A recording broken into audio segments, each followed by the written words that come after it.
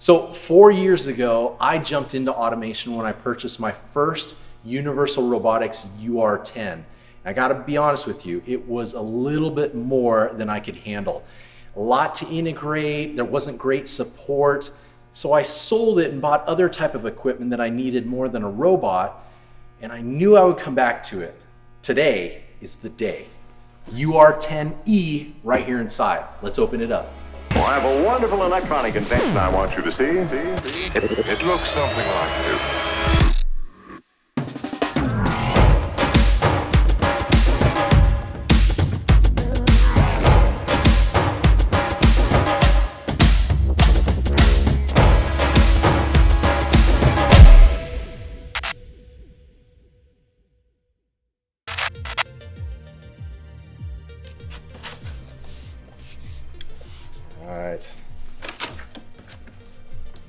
Curious how the packaging has changed also over the years.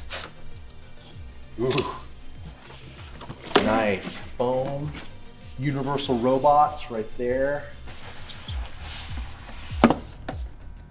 Oh man. That is awesome.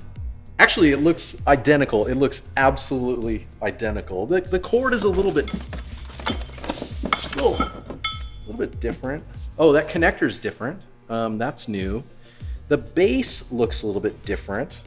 Um, so I saved all my mounting hardware. The, the I, I actually had two pedestals um, just for future robots, and so I used one. It's on a slant. I'll show you that in a minute. But um, I hope this base is the same as the old style base, and we can just put it right on the pedestal. So um, I wonder if I can lift this thing up. Let's see. From what I remember, it was really heavy. Yeah, I'm gonna wait on that. I'm gonna wait on that. That is a really heavy robot. But uh, I guess for now, let's go see where we're gonna put it. So this is our VF2C. C just means it's our third VF2. It has nothing to do with model or anything like that. We use this for prototyping. We have a vise set up there right now, but this makes all of our pallets for our Pro and Mini system. So one thing I learned the first time I had a robot is I had the pedestal front and center. And uh, you know, it would take our, our chucks in and out, bottom plates, things like that. This time I know better. I'm gonna mount it off to the side, not fully out of the line of the door, but off to the side so an operator can comfortably work in here doing prototype work or just doing second op work with different stuff. So uh, we went ahead, drilled it, concrete.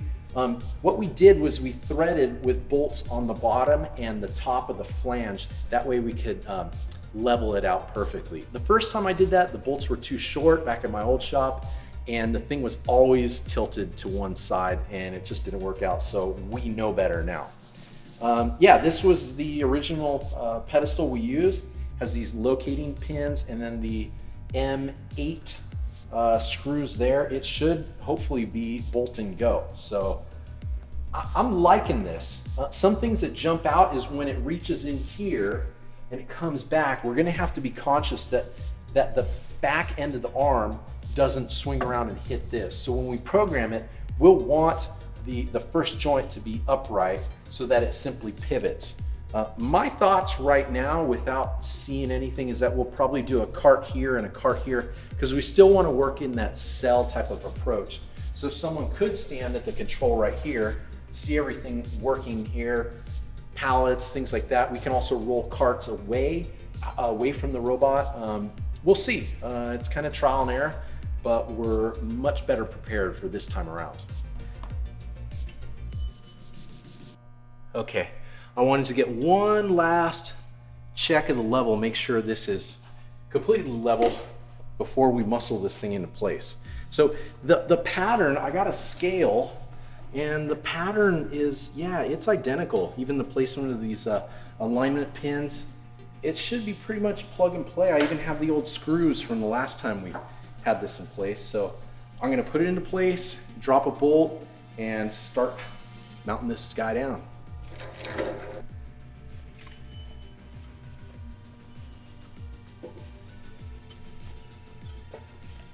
Nice.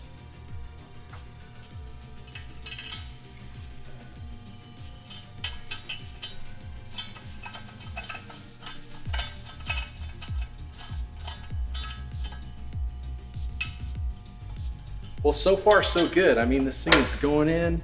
Uh, yeah, if you're if you're by yourself, you can definitely install this on your own.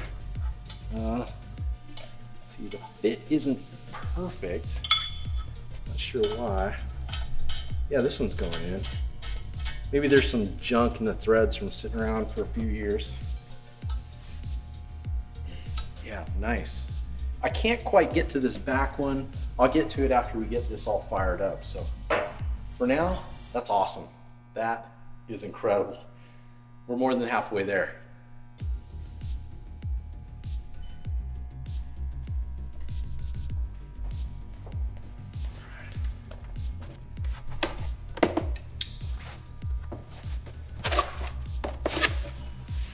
Ooh, nice. Cool. Manual. Oh, I remember it came with a special pen that was a pen and touchscreen stylus. I'm curious if it, one will be included with this model as well. I'm not sure what all this stuff is, but looks important.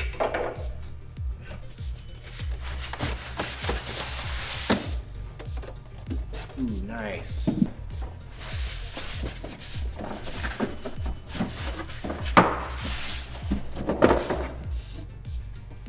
Look at that. It's awesome. Um, the form factor is about the same. This box is about the same size. The pendant is definitely smaller. Oh, and this cable is thinner. Before it was like a garden hose. That was one of my complaints, but overall looks the same, looks great.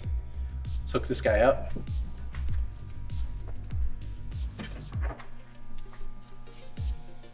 Cool. Goes right there. Loosen, that's a little tight. Got this button on top right here. So the way that works is you hold it here, you push this button and then move the arm. And that way that's how you position it, let go and it locks into place. Awesome feature of these UR robots. So cool, let's keep moving. You know, I kind of feel like I should stop and read the manual, but I'm gonna say that I've done this before, so I'm just gonna go for it and plug it in and kind of see what happens. All right, cool. This obviously goes right here. There we go. Okay, cool. All right, so peel off this official screen protector.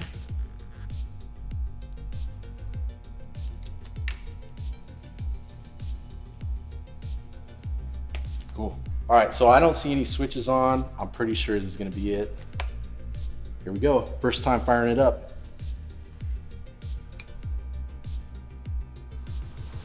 All right.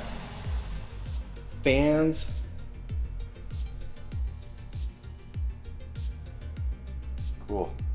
We got a status bar. I like that. That's new.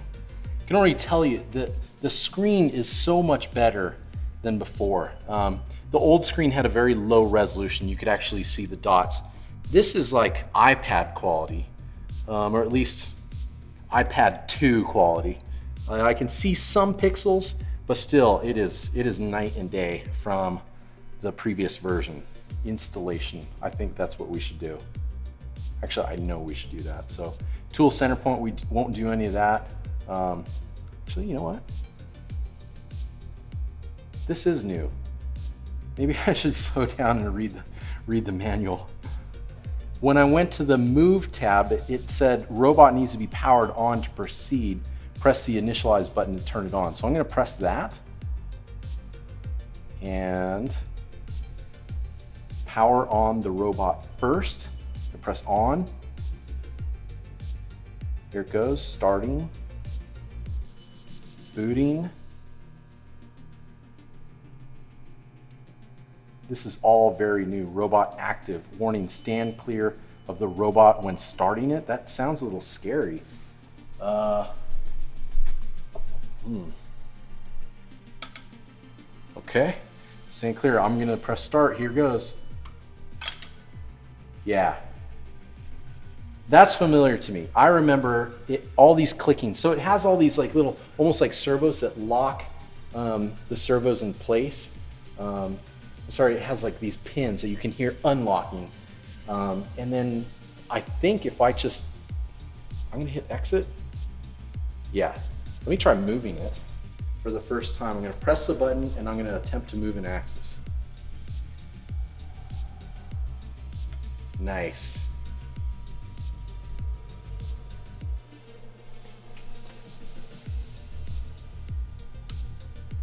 Solid. This thing is rock solid. I can hear a little bit of sound from it. The servo's trying to keep its position, but other than that, these machines, these robots are just dead quiet. So day one, we got it unboxed, we got it mounted, powered on, I'm able to move it. This is awesome, but we still have a lot of work ahead of us. We have to create the tooling to interface with our pallets. We gotta create a pallet that's pneumatically operated so it can, it can send signals from the box to clamp down when the robot puts the pallet down.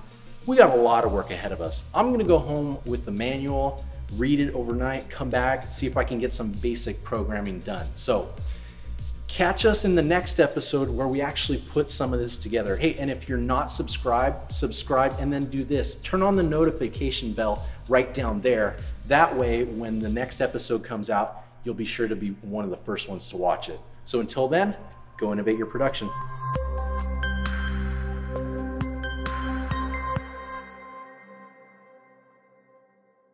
Well, guess what? Today is the day. UR10 inside, let's open it up. Ah. no worries, man. Yeah. You, that gave me a lot of good ideas. So, mm -hmm. okay. So, four years ago,